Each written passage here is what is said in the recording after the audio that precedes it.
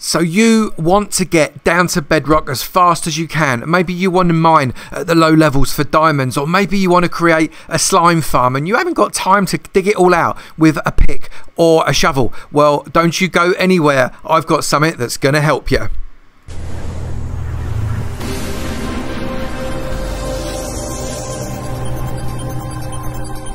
Good morning, good afternoon, good evening, and good night, depending on what time you're watching this next tutorial from me, Avomance. And today, we're going to do a fairly quick one, really. Have you ever needed to get down really fast. You don't want to dig one block by one block by one block. You want to get down fairly fast, as fast as you can. Maybe you want to go mining at level 10 for diamonds, or maybe you want to make a slime farm and you want to clear out a whole load of stuff all the way down to level zero. Well, today I'm going to help you do that with a really, really simple redstone contraption that you are going to love. If you enjoy this video, please do make sure you smack that like button very, very hard, like you don't like it very much. Smack it till it turns blue and I will look forward to seeing your name in my sub club.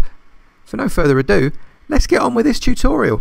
So the first thing you've got to do is decide why are you digging down into the bowels of hell? Are you just one of these people that likes to go really, really deep? Are you someone that wants to go mining for diamonds and you want to go down to kind of 10 and under, which is where the best diamonds are? Or are you wanting to create something like a slime farm or an underground farm? Well, if it's a slime farm, you are going to need to make sure you are mining in a slime chunk and you can find what your slime chunks are because only about 1 in 10 of your chunks are going to be slime spawners you can find that on a website such as Chunkbase or something like that. Put in your Minecraft seed, that will tell you where your slime chunks are, and you'll make sure you cut out the right 16 by 16 square. Otherwise, you're going to have a really, really bad farm. So, whatever that is, get to the edge of the chunk or not, and come back five blocks. And on that sixth block, I want you to put down a hopper.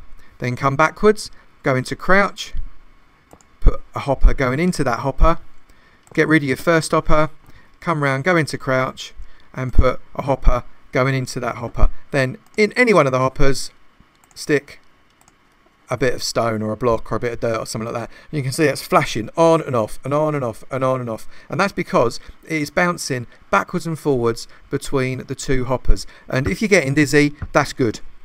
Turn it off with a lever and you'll see now that that has locked and it isn't bouncing anywhere whatsoever. And that's we need it to be able to lock like that because the function of this system depends on it.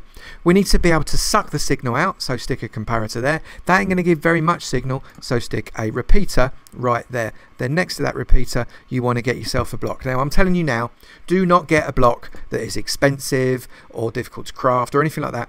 This is not a pretty thing you are about to build. It is a functional thing.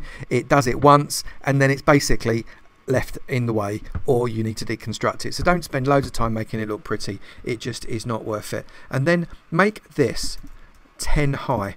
So if I can get up so it's 1 2 3 4 5 6 7 8 9 and 10 then come back down and opposite side of the um, comparator and repeater. Come up one block and stick a nodule out. Come up another block, stick a nodule out. You can see we're making like that zip um, shape coming up like that. Then stick one more on the top of that. Then knock out that block that is next to the nodule bit coming out so you're creating a nice zigzag. Then get yourself a redstone torch and put a redstone torch on the side of every block like this just like that and then come around the back and put a redstone torch on the side of each of those blocks as well. And you'll notice this redstone torch turns off. That's because we've created a series of NOT gates and that torch is powering that block which therefore turns that torch off which isn't powering that block which therefore allows that torch to burn. That continues up all the way to the top and you have yourself a nice climbing system of redstone with this torch being on.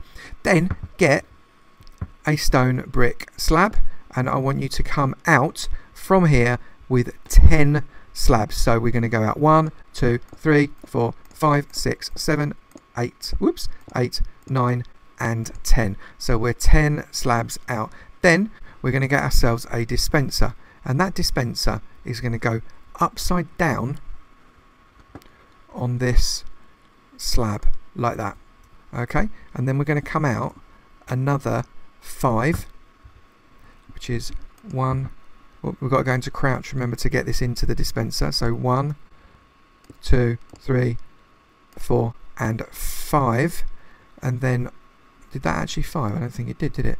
No, it didn't. That's a cheeky slab.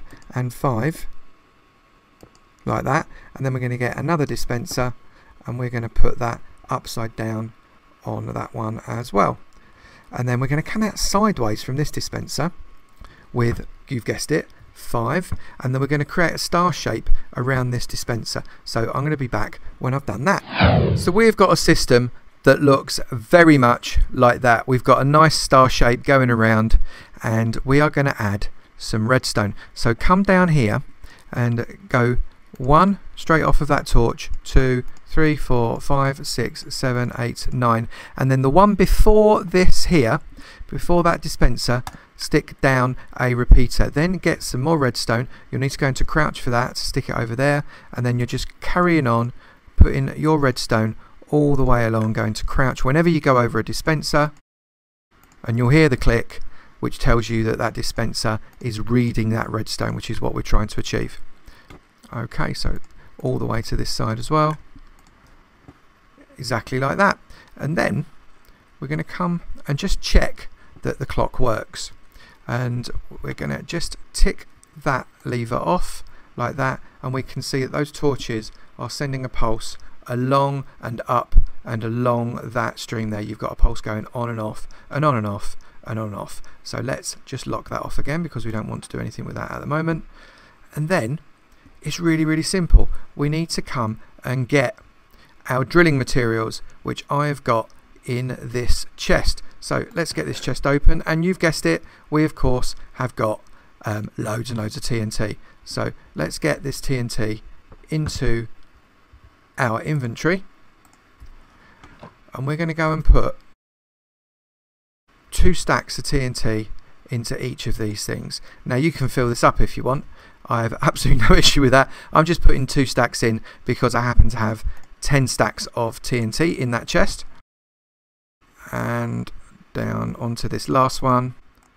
And that is our system primed ready and very very dangerous. Yes I know I told you not to bother making it look all nice and pretty and I just went ahead and made it look like it was a proper construction rather than something that we knocked up to do a thing. But you know what? I don't care. It's my build. I can do what I want. It's my time. You do what you want with your time. Happy days. But what we've got to do is see whether it works and that bit is dead easy. We have got to basically flick that switch and hope to God we don't blow up the world. So, shall we have a go? Let's have a crack at it. I'm very nervous because whenever you play with TNT, there is always the potential for something to go horribly wrong. But we are going to flick this lever, and that is going to start, I hope, to release the TNT from up there, and we're going to drill a blooming great big hole in this place. I hope. Let's get on with it.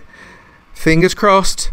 Let's flick that and we should see TNT coming out there. Yep, there we go. That's the first lot. It's going to go very badly. I have a horrible feeling it's not going to go well. So that's cooking big holes. You can see that's doing really quite nicely actually. That's cooking loads of big holes and it has gone just not quite to where we've built our system. So which is exactly what we want. We were enough um, chunks and blocks away to not have an issue with bashing off and exploding the whole drilling rig. And you can see in there that is drilling down very nicely thank you very much. Now there's always going to be the need to do some tidying up when you've got one of these systems but actually in reality that is doing really quite well. So let's wait. Look didn't even kill the sheep did it Mr Sheep? No it didn't. Let's wait for that to finish. And we have now got a blooming great big hole. So let's just turn this off simply to avoid the ticking. There's no TNT left. We have put 128 from each dispenser of TNT and let's see the devastation that has created. We have got a blooming great big hole. That has drilled miles down. Oh my goodness, look at that. Now we hit a lot of lava, it looks like, but we've managed to get ourselves down a long, long way. So uh, let's just see where do we go. So we keep going and we keep going and we keep going and we keep going and we keep going.